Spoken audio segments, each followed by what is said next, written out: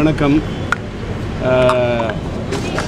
இன்னைக்கு இங்கே வந்திருக்கக்கூடிய மீடியாக்களை என்னுடைய பிஆர்ஓ நிக்கில் முருகன் அழைப்பு கொடுத்த உடனே இந்த ஷார்ட் நோட்டீஸில் நீங்கள் இவ்வளோ பேர் இங்கே வந்திருக்கிறதுக்கு ரொம்ப உங்களுக்கெல்லாம் நன்றி. இந்த இடைப்பட்ட நாளில் நான் மருத்துவமனையில் இருந்த இந்த சமயத்தில் என்னை பற்றிய என் மகன் சம்பந்தப்பட்ட செய்திகளை நல்ல செய்திகளை நல்ல விதத்தில் போட்ட இப்போ என்கிட்ட நான் எங்களோட நிக்கில் முருகன்கிட்ட கேட்டு நல்ல விதமாக போட்ட நல்ல மீடியாக்களுக்கு உண்மையாக நேர்மையாக திறம்பட நடக்கக்கூடிய இந்த மீடியாக்களுக்கு முதற்கனுடைய மனமார்ந்த நன்றியை தெரிவித்துக் கொள்கின்றேன். நான் வந்து இந்த இங்கே வாழ்க்கையில் இந்த அளவுக்கு இன்னைக்கு இங்கே நிற்கிறேன்னு சொன்னேன்னா அதுக்கு காரணம் எல்லாம் அல்ல அந்த இறைவன். கடவுள் நம்பிக்கை. என்னுடைய தன்னம்பிக்கை மீறி என்னுடைய கடவுள் நம்பிக்கை தான் எனக்கு நீங்கள் பல காலகட்டத்தில் கை கொடுத்துருக்கீங்க.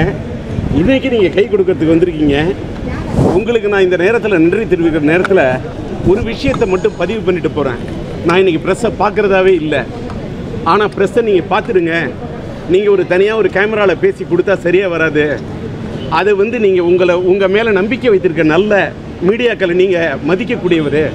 அதனால் நீங்கள் வந்து மீடியாட்ட பேசிடணும்னு என்னுடைய பிஆர்ஓ நிக்கில் முருகன். அந்த முருகன் பேரை தாங்கி அவர் சொன்ன காரணத்தால் முருகன் கையில் இருப்பது வேல். அந்த வேலை பார்த்தேன்.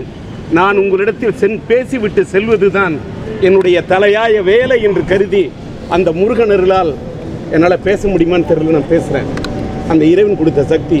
நீங்கள் கொடுத்த இது ஆதரவுக்கு நன்றி. எல்லாத்துக்கும் மேலே நான் இப்போ தான் வெளிநாடு போகிறேன் அமெரிக்கா போகிறேன் உயர் சிகிச்சைக்காக அமெரிக்கா போகிறேன் அமெரிக்கா போகிறதுக்கு இப்போ தான் நான் ஏர்போர்ட்டுக்கு வந்து இறங்கியிருக்கிறேன். நான் எதையுமே வாழ்க்கையில் மறைச்சவனே கிடையாது. நம் முகத்தில் தான் தாடி வச்சுருப்பேன். என் மனசை நான் வச்சதே இல்லை மூடி. என் வாழ்க்கையில் எதையுமே வச்சதில்லை மூடி. நான் இப்போ தான் ஏர்போர்ட்டுக்கு வந்திருக்கேன். நான் அமெரிக்கா போகிறேன் அதுக்காட்டியுமே நான் அமெரிக்கா போயிட்டேன் இங்கே போயிட்டேன் இங்கே போயிட்டேன் எங்கெங்கேயோ போயிட்டேங்கிற மாதிரிலாம். தப்பும் தவறுமா. நானே சினிமா கதையாசிரியர். நாங்களாமே படம் எடுக்கிறவங்க. கதை விதவிதமாக கதை எழுதி திரைக்கதை எழுதி வசனம் எழுதி என்னென்னமோ பண்ணி யாராரோ எப்படியோலாம் டைரக்ட் பண்ணாங்க. யார் என்ன பண்ணாலும் இறைவனை மீறி விதியை மீறி கருவா கர்மாவை மீறி எதுவுமே நடக்காது. ஆனால் இப்படியெல்லாம் செய்தி போட்டுட்டு அதில் பதபதிச்சு எனக்காக வருத்தப்பட்டு நான் ஒரு சாதாரண நடிகன் நான் ஒரு சாதாரண கலைஞன் நான் ஒரு சாதாரண ஒரு சின்ன கட்சியில் ஒரு சாதாரண லட்சிய திமுகன்னு ஒரு கட்சி நடத்தக்கூடிய ஒரு சாதாரணமான ஒரு ஆள். ஆனால் என் மேல் அன்பு வச்சு பாசம் வச்சு அறிவு வச்சு எனக்காக ஆதரவோட ஏன் நான் நல்லா இருக்கணும் அப்படின்னு பலர் பண்ண பிரார்த்தனை அவங்க பண்ண ஆராதனை அதனால தான் நான் இன்னைக்கு இங்கே நின்றுக்கிட்டு இருக்கேன். அதுக்கு எனக்காக பிரார்த்தனை பண்ண எங்களுடைய கட்சிக்காரங்களாக இருக்கட்டும் கட்சியெல்லாம் மீறின என்னோட அபிமானிகளாக இருக்கட்டும் கட்சியெல்லாம் மறந்துட்டு என்னுடைய விசுவாசிகளாக எனக்காக பிரார்த்தனை பண்ண அத்தனை என்னோட ரசிகர்களுக்கும் என்னுடைய மகன் சிம்பு ரசிகர்களுக்கும் திரையுலகத்தை சார்ந்த அத்தனை திரையுலகத்தில் எத்தனை நண்பர்கள் என்னை நேரில் வந்து பார்க்க முடியல. அவ்வளோ பேர் ஃபோன் பண்ணி என்னை விசாரித்த அவங்களுக்கும் என்னை வந்து முடிஞ்ச அளவுக்கு பார்க்க முடியாத நேரத்தில் என்னை வந்து பார்த்த தமாகவுடைய கட்சி தலைவர் அன்பு அண்ணன் நான் நாடாளுமன்ற மாநிலங்கள் மாநிலங்களவை உறுப்பினர் நான் அண்ணன் ஜி கே வாசன் அவர்களுக்கும் அதே போல என் அது இன்றைக்கு நாடாளுமன்ற உறுப்பினராக இருக்கக்கூடிய இந்திய ஜனநாயக கட்சியுடைய தலைவர் பாரிவேந்தர் பச்சமுத்து உடையார் ஐயா அவர்களுக்கும் மற்றும் என்னை இன்று காலை திரையுலகத்தின் ஒரு நண்பனாக மட்டுமல்லாமல் இன்றைக்கு மக்கள் நீதி மையத்தின் தலைவராக இருக்கக்கூடிய அன்பு அண்ணன் கமலஹாசன் அவர்கள் இன்றைய என்று வந்து என்னை சந்தித்து செ- விட்டு சென்றார். இதைப் போல என்னை பல முறை இந்து தெரிந்தது காடு படத்தின் தயாரிப்பாளர் ஐசரி கணேசன் என் சிலம்பரசனோடு தோளோடு தோல் நின்று பல முறை என்னை வந்து சந்தித்து எனக்காக இது பண்ணார். திரையுலகத்தை அத்தனை நண்பர்களும் நான் நன்றி தெரிவிக்கிற நேரத்தில் எனக்கு வந்து ஆரம்பத்திலேருந்து எனக்கு சிகிச்சை கொடுத்த அத்தனை டாக்டர்ஸுக்கும் என்னோட நன்றி. பர்டிகுலராக ராமச்சந்திரா மருத்துவமனை அந்த பேரே நான் ஒரு ராம பக்தன் அந்த ராமச்சந்திரா மருத்துவமனையின் ஐயா வெங்கடாச்சல ஐயா என் மீது காட்டிய அன்பு அதே போல் எங்களுடைய எம்டி செங்குட்டுவன் அது டாக்டர் முரளிதரன் ஐயா தலைமையில் வினோத் போன்று பல அங்கே இருக்கக்கூடிய அத்தனை மருத்துவர்களும் பணி செய்யக்கூடிய ஒவ்வொரு சிப்பந்திகளும் என் மேலே காட்டின இந்த அன்புக்கு அளவே இல்லை. எல்லாத்த விட நான் நல்லா இருக்கணும்னு எனக்காக பிரார்த்தனை பண்ணாங்களே ரசிகர்கள். எனக்காக பிரார்த்தனை பண்ணாங்களே என்னோட அபிமானிகள். அவர்களுக்கு நான் இ- இந்த ஜென்மம் முழுவதும் நான் நன்றி செலுத்தினா கூட தங்காது. அந்த அளவுக்கு நான் நன்றி கடன் பட்டிருக்கிறேன் இது எல்லாத்துக்கும் மகுடம் வைத்தார் போல். நான் எப்படி சொல்கிறதுன்னு தெரியல. என்னுடைய தாய் கழகம் என் தாய் வீடு திராவிட முன்னேற்ற கழகத்தின் தலைவர் என்னுடைய அரசியல் ஆசான் என்னுடைய அரசியல் குரு மறைந்துவிட்ட முன்னாள் முதல்வர் தலைவர் கலைஞர் ஐயா அவர்களுடைய புதல்வர் இந்நாள் முதல்வர் மாண்புமிகு தமிழக முதல்வர் அன்புக்குரிய அண்ணன் ஸ்டாலின் ஐயா அவர்கள் என்னை மருத்துவமனையில் வந்து பார்த்து எனக்கு ஆறுதல் தெரிவித்து அன்பை காட்டி பரிவை காட்டி பாசத்தை காட்டி எனக்கு தோல் தட்டி எனக்கு நம்பிக்கை ஊட்டினாரே. என்னால் மறக்க முடியாது. அதே மாதிரி ஒரு முறை அல்ல ரெண்டு முறை.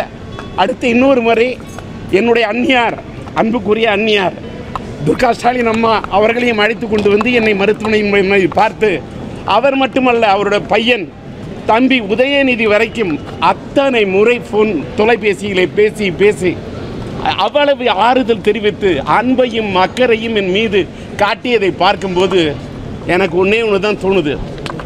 என்னென்ன என் மீது அன்பும் பரிவும் பாசமும் உருக்கமும் காட்டக்கூடிய ஒரே தலைவர் கலைஞர் தான் அவர் தான் என் குரு என்று நினைத்தேன்.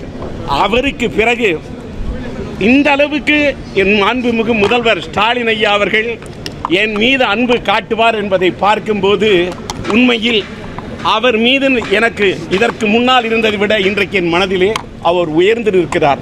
இது எல்லாத்துக்கும் மேலே இன்றைக்கி எனக்கு உடம்பு சரியில்லைன்னு என் கூட தான் என்னோட மனைவி உஷாவாக இருக்கட்டும் என்னோட மகள் தமிழ் இலக்கியாக இருக்கட்டும் என்னுடைய மகன் குரலரசராக இருக்கட்டும் என்னோட தம்பி பாண்டியனாக இருக்கணும் என் தம்பி வாசா இருக்கட்டும் என் சொந்தம் எல்லாம் என் கூடவே இருந்தது. இது எல்லாத்த மீறி எனக்கு சொந்தத்தெல்லாம் மீறி என்னுடைய ரசிகர்கள் இந்த தென்னகத்து மக்கள் உலகத்தில் இருக்கக்கூடிய அத்தனை நாட்டில் வாழக்கூடிய என் ஈழத்து மக்கள் என் தமிழ் மக்கள் என் மேலே காட்டின இந்த அன்பு இருக்கிற வரைக்கும் எந்த வதந்தியும் நம்பாதீங்க. நான் நல்லா இருக்கேன் நான் சந்தோஷமாக இருக்கேன். நான் போயிட்டு வந்துட்டு நீங்கள் கேள்வி கேட்டப்பெல்லாம் நான் பதில் சொல்லியிருக்கேன். இன்றைக்கி நான் போயிட்டு வந்து நிறைய பேச எல்லாத்துக்கும் ஒரு பதில் என் மேலே இவ்வளோ அன்பு எல்லாரும் செலுத்தியிருந்தாலும் ஒன்றே ஒன்று சொல்கிறேன் என் மகன் சிலம்பரசன் நான் இன்றெடுத்த மகன். மகன் மட்டுமல்ல நான் உருவாக்கிய என்னுடைய சிஷ்யன் அவன் அந்த சிலம்பரசன். இந்த நான் இன்னைக்கு வெளிநாடு போறேன்னு காரணம் என் மகன் சிலம்பரசன். அப்பா உங்களுக்கு உயர் சிகிச்சை நான் கொடுக்கறதுக்கு வெளிநாட்டுக்கு தான் அழைச்சிட்டு போவேன் அப்படின்னு ஒத்த காலில் நின்னதுனால தான் என் மகனுக்காகத்தான் நான் இன்னைக்கு வெளிநாடே போகிறேன் அவத்தை அதற்காக தன்னுடைய வெந்து தனிந்தது காடு படத்தின் அந்த அந்த ரக் இது அதோட ஆடியோ ரிலீஸை கூட தள்ளி வச்சுட்டு பத்து தலை அந்த பத்து தலை படத்தோட படப்பிடிப்பை தள்ளி வச்சுட்டு எல்லா வேலையும் தள்ளி வச்சுட்டு கிட்டத்தட்ட ஒரு பன்னெண்டு நாளைக்கு மேலே இன்றைக்கு அமெரிக்காவில் போய் உட்காந்துக்கிட்டு தன் பெத்த தகப்பனுக்காகவும் தன் தாய்க்காகவும் தன் குடும்பத்துக்காகவும் அங்கே ஒவ்வொரு நிமிடமும் உழைத்து கொண்டிருக்கக்கூடிய என் மகனை பார்க்கும்போது ஒன்றே ஒன்று தோணுது. பல குழந்தைங்க பல அப்பா அம்மாவை நல்ல விதமாக வச்சுக்கிறாங்க. அவங்களாம் நல்லா இருக்கணும்.